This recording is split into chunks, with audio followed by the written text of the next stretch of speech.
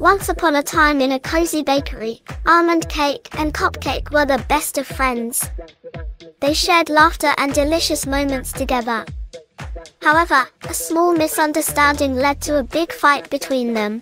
It all started when Cupcake accidentally knocked over a bag of powdered sugar onto Almond Cake.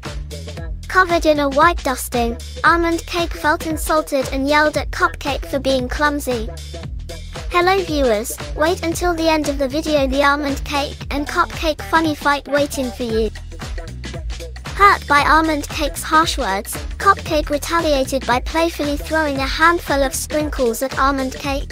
This marked the beginning of a fierce battle.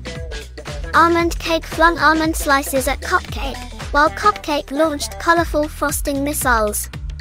The bakery turned into a battleground, with flour flying through the air and icing splattering everywhere. As the fight intensified, the aroma of sweet pastry mixed with the scent of victory. However, amidst the chaos, their laughter turned into regret. They realized they had gone too far, staining the bakery with their anger. With remorse filling their hearts, Almond Cake and Cupcake stopped fighting. Covered in batter and frosting, they embraced each other, apologizing for their actions. They understood that their friendship was more important than any disagreement. Together, they cleaned up the mess they had made, restoring the bakery to its former glory. From that day forward, Almond Cake and Cupcake vowed never to fight again.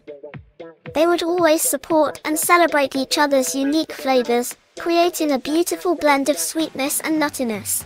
If you enjoyed our video, make sure to subscribe to our YouTube channel right now and don't forget to click the bell icon as well.